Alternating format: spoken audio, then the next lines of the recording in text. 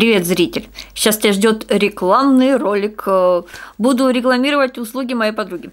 А, короче, начну вот с этой тестовой прихватки. Э, кто подписан на мой инстаграм, тот в курсе, что я нашла материал, который у меня как бы был, искать его не надо было особо. А еще, что у меня есть подруга, которая меня стрижет. Ну, раньше стригла, а сейчас красит. Ну, в принципе, может она вас и постричь, и покрасить, и прическу вам сделать. И даже не надо быть подписанным на мой инстаграм или мониторить меня там, это и на ютуб говорила. Короче, в общем, сегодня я была у него в гостях. Прикольная, да? Скажем так, человек э, тестировал швы. Мне нравится. Мяконькая.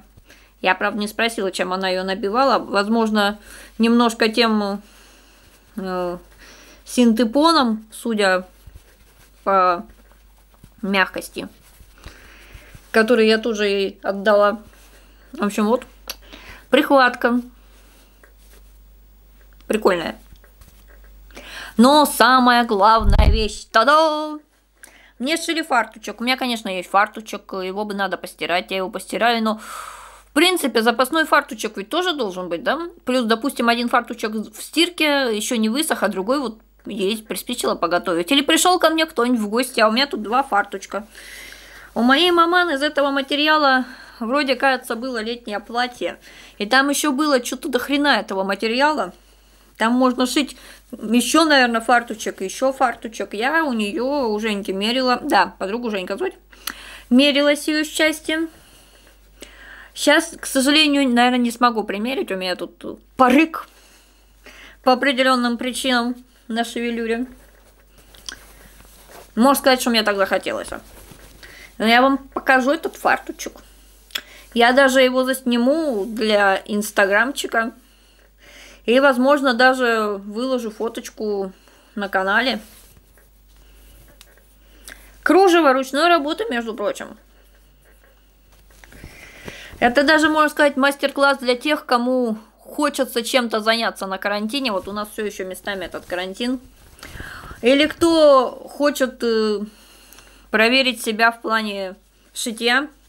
Или у кого есть куча всякого интересного материала, он не знает, куда его деть, или она не знает, куда его деть, то теперь вы знаете.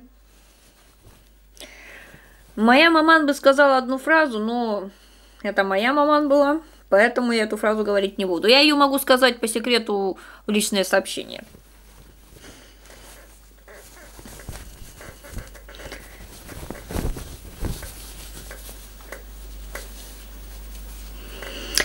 Я думаю, что тут звук, наверное, будет такой интересный. Сейчас вот у меня как бы ролик монтируется, ну там вот немножко видно, он почти что монтируется. И как раз, когда выйдет этот ролик на канал, вот, который я сейчас снимаю, уже будет на канале тот, который смонтировался. И там будет понятно, почему я сейчас могу писать вот э, как бы с таким звуком звонким. Короче, вот такой вот цветочный фартучек. Если вы внезапно из Углича, знаю, что сколько-то там полтора землекопа меня из Углича смотрит иногда. И не полтора землекопа, и так некоторые мониторчики. И вам хочется что-то себе сшить. Но руки у вас растут не из того места, или вам тупо лень. Вот мне, например, было бы лень. Либо мне лень, плюс еще у меня нет этой машинки швейной поэтому руками мне уж совсем лень, то вы можете э, мякнуть мне в личное сообщение какой-нибудь социальной сети, лучше ВКонтакте или там в Инстаграмчик.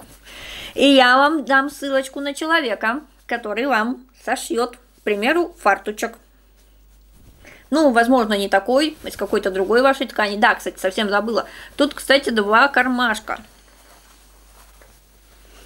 Ну, она меня когда спросила, говорит, тебе кармашки нужны на фартуке, а я что-то так зависла, думаю, вообще кармашки на фартуке бывают.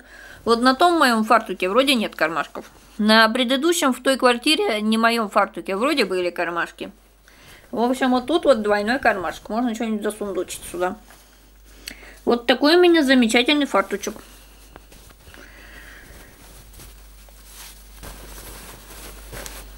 Ну и еще раз покажу прихваточку.